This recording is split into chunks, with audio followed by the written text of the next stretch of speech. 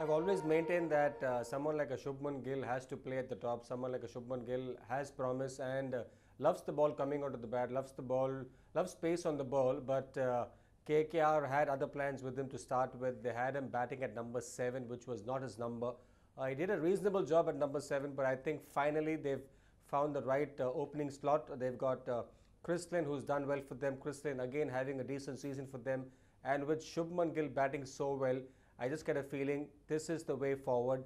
And I'm also pretty happy with the decision to send Andre Russell at number three. Not primarily about him being at number three, but I've always maintained that he's, he's someone who has to bat with about 10 overs to go. Uh, great innings by him. And again, uh, more than the great innings, it was happy to see KKR for once make all the right calls.